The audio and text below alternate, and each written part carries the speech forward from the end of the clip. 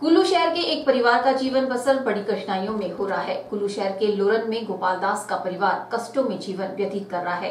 गोपाल दास और उसके परिवार के छह सदस्य एक कमरे में जीवन जीने को मजबूर है।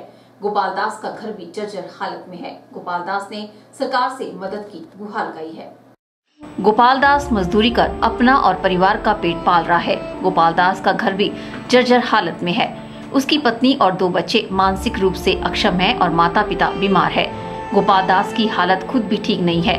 लोरन के गोपाल दास को अब उम्मीद है प्रशासन और समाज सेवी संस्थाओं के नजरे इनायत की।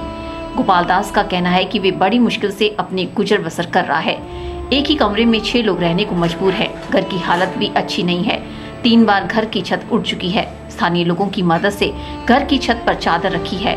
पड़ोसियों और स्वयंसेवी संस्थाओं की मदद से भी उनका गुजारा चल रहा है। सरकार ने घर बनाने के लिए कुछ धन तो स्वीकृत किया है, लेकिन उन्हें कहा जाता है कि पहले घर के पिलर इत्यादि खड़ी करने के बाद ही पहली किश्त मिलेगी।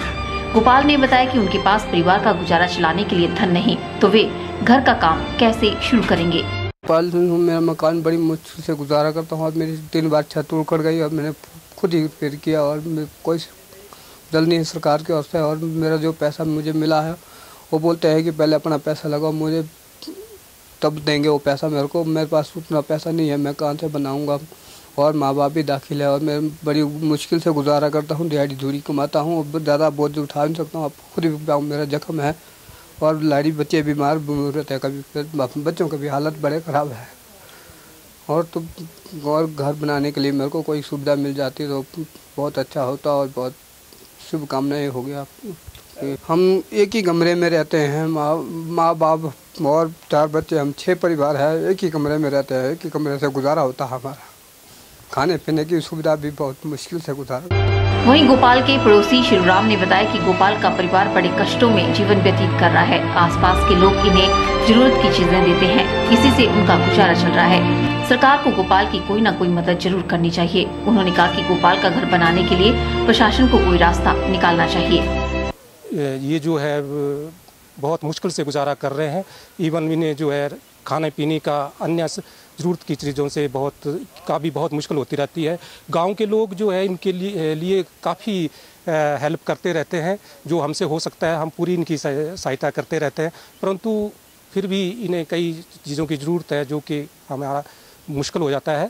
तो अभी जो इन्हें जो है अमृत योजना के अंतर्गत जो है सरकार की ओर से भी कुछ राशि स्वीकृत हुई है, परंतु इनके पास अपना मकान बनाने के लिए पैसा नहीं है, क्योंकि सरकार की योजना है कि जब तक ये अपने पिल्लर आदि खड़ा या कोई कार्य शुरू नहीं करेंगे तो इनको मकान बनाने के लिए फ़र्स्ट इंस्टॉलमेंट नहीं दी जाएगी। वहीं गोपाल की मदद के लिए आगे आई कार सेवा दल संस्था के अध्यक्ष मनदीप सिंह ने बताया कि गोपाल की हालत काफ़ी खराब है। कार सेवा दल को जैसे ही इस परिवार के बारे में पता चला तो वे इसकी मदद को तैयार हुए।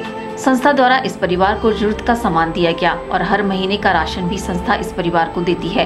प्रतिदिन एक लीटर दूध भी इस परिवार को संस्था की ओर से दिया जाएगा। गोपाल दास ने सरकार से मदद की गुहार लगाई है। हर तरह की संभव मदद राशन की व्यवस्था, बिस्तरा, अलमारी, पेटी हो गया। और हमेशा इस परिवार के लिए आगे भी इसी तरह से सामान मुहैया करवा के या इनको किसी तरीके से राशन परमानेंट लगवा के और एक संस्था की तरफ़ से दूध जो हॉस्पिटल में जाता है तो उसके लिए भी इनको परिवार को एक किलो दूध जो है हर रोज़ बच्चों के लिए आज संस्था की तरफ़ से इनको लगा दिया जाएगा।